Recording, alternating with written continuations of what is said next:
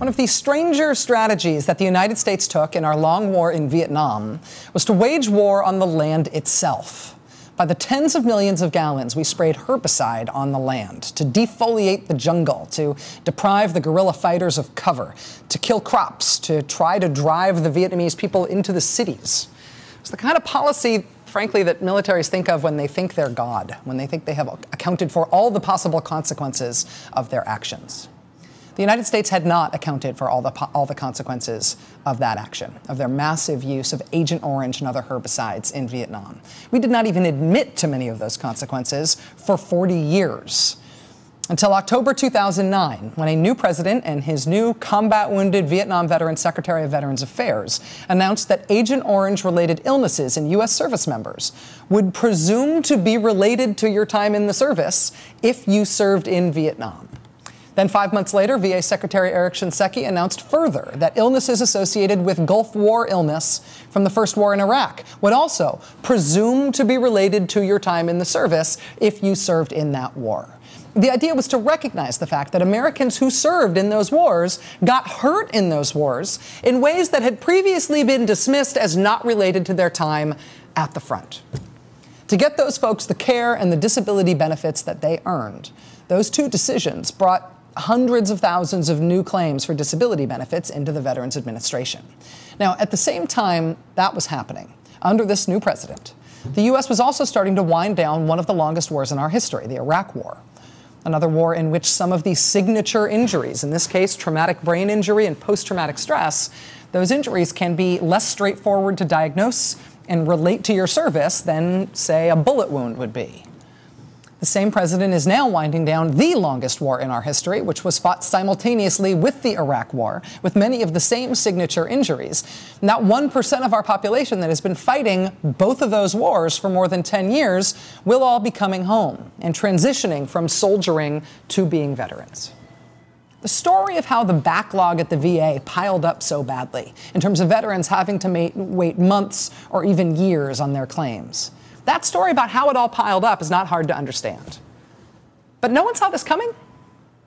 When the Agent Orange claims were added, and the Gulf War illness claims were added, and other classification groups were added, and the wars in Iraq and Afghanistan ground on for years and then finally started to end, anybody could see that all of those things would have paperwork consequences in the form of more disability claims at the VA. But the management of the paperwork has not kept pace with the changes that caused the increase in the paperwork. The VA's own numbers show that the wait time for veterans is not getting better, it's getting worse. In 2009, it was 161 days. The next year, 165 days. The next year, 188 days. By last year, it was 262 days. The universe of the problem they are dealing with is getting bigger by design, by policy, by good policy, by their own policy. But the pace at which they are dealing with the existing problem is not getting better, it is getting worse. And we keep hearing from the VA, we got this. Really, for a decade now, we've been hearing that it's all under control.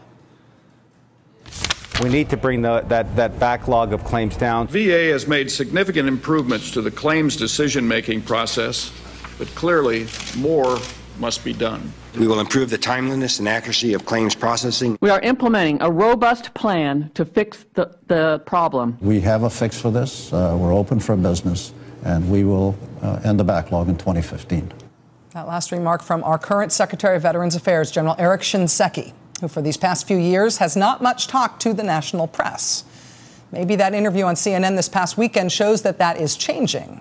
But I, for one, am delighted to be allowed to talk to anyone from the VA, which has been next to impossible for us as a show, as we have covered this issue for years now. The agency would not give us anybody to talk to about this until tonight. Joining us tonight for the interview is Tommy Sowers. He's Assistant Secretary for Public and Intergovernmental Affairs at the VA. Prior to being nominated to that position by the President and confirmed by the Senate, Dr. Sowers was a major in the U.S. Army Special Forces. He served two tours in the war in Iraq.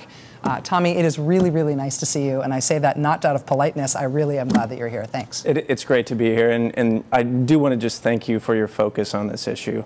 I know you're the daughter of a veteran, and I appreciate your uh, focus on the issues we care about.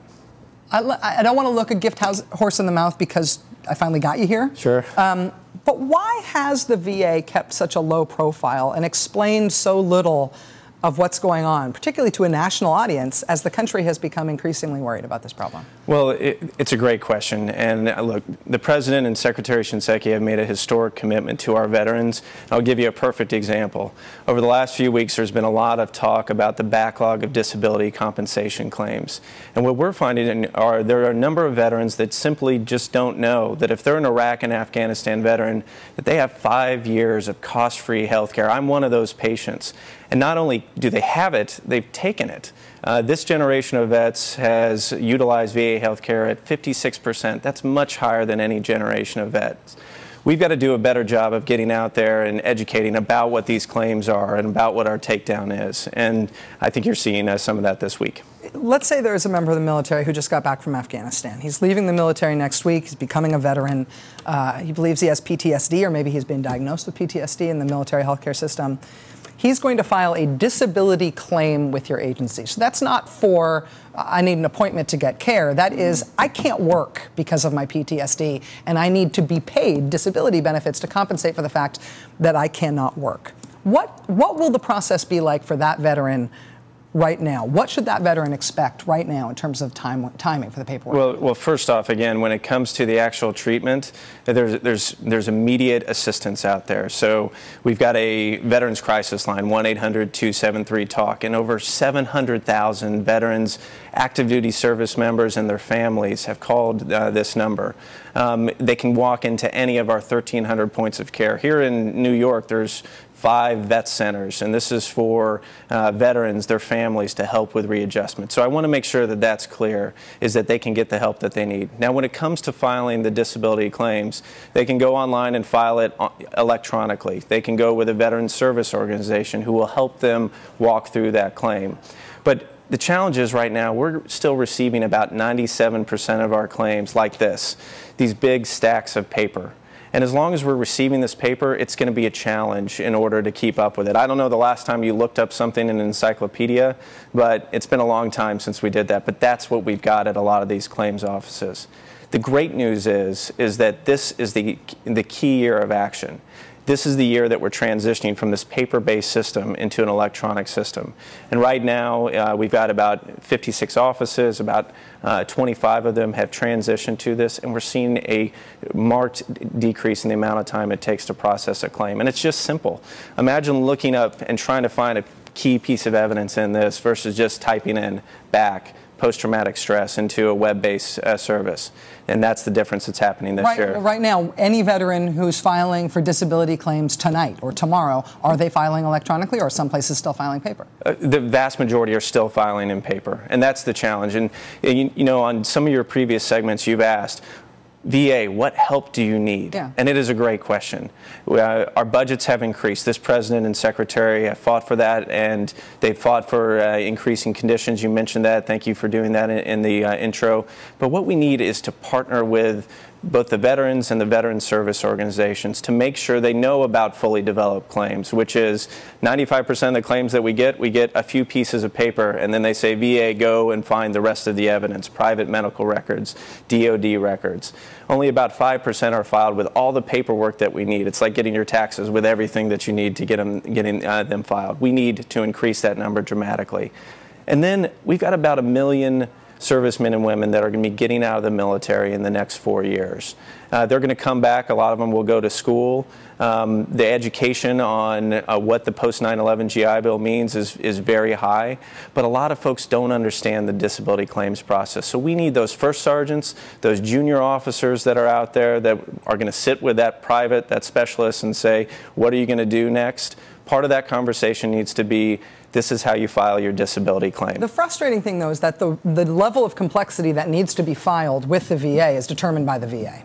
And so if people are turning in stuff that isn't cogent in terms of what you need to be able to file the claim, and that's nine, true 97% of the time. Mm-hmm. That doesn't imply there's a problem with 97% of the people applying. That implies there's a problem with what you're asking of people. If only 3% of people are doing it right, then you're asking for something that's not doable. So isn't part of the process that you guys are asking for something that's unreasonable? Well, we just we just came online in terms of the ability to file a claim electronically. And so uh, if, if there's someone out there wondering about this, they can look up e-benefits or a fully developed claim. And those are the two methods that says if you're going to file your claim, this is how you give us all the information that we need to, to rate it and uh, judge it as quickly as possible. In 2010, as recently as 2010, the Undersecretary uh, of the VA for, for Benefits, for the VBA, um, told the Senate Veterans Committee that the, the, the, back of the, bra- uh, the back of the backlog was being broken. And that was three years ago, and things have gotten worse since then.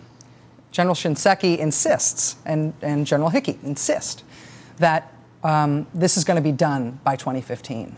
And I feel like my increasing urgency with covering this so much is that I have stopped believing them mm-hmm. because I am not seeing progress toward anything that looks like it's going to be better next year, let alone the year after. And I realize the transition to electronic records feels like it's going to work for you guys. Mm-hmm. But if mm-hmm. it's not working on the ground in big pilot programs that we can see that veterans are saying, yeah, this is working for me, it's really hard to believe it's moving. Why, why shouldn't there be some kind of presidential commission or some external force sort of brought in to ride herd of the VA to make sure it happens? Well, when I came into this position, I've been here about seven months. I heard all about the backlog, and I filed a claim. I've gone through the, the process. It took about six months, which is the about the historical average over the last 10 years. So I wanted to see it. So I went to one of these offices, and this was back in September, the first office that I saw. You saw piles like this yeah. all over, and you featured some of these in this cumbersome process. And I saw the electronic system there, and it looked sort of like Windows 3.1. um, but then I went to Winston-Salem in January, the same office that you've profiled, the same office that was you know, sagging because of the weight of these claims. Right. The claims have, have, not just been moved, they've been scanned.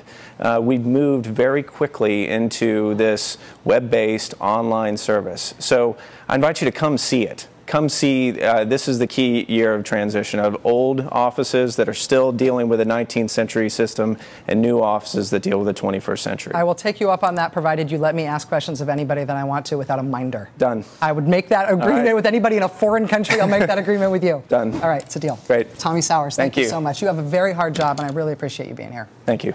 All right, we'll be right back.